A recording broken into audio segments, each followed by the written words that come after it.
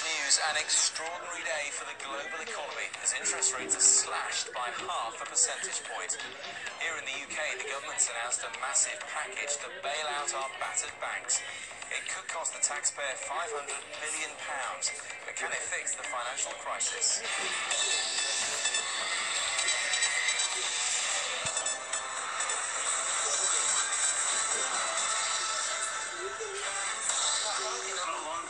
It's, it's not appropriate. The parents of two boys killed by a drunk driver say his sentence is too short. Cutting out the cake why avocados and nuts can stop you snacking. Myleene Klass tells me how she's mixing modelling with music and motherhood. And I feel good. You know, I've got a few quid in my pocket, yeah. But I, I don't know.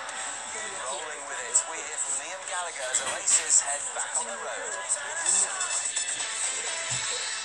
Welcome to 5 News, I'm Matt Barbet.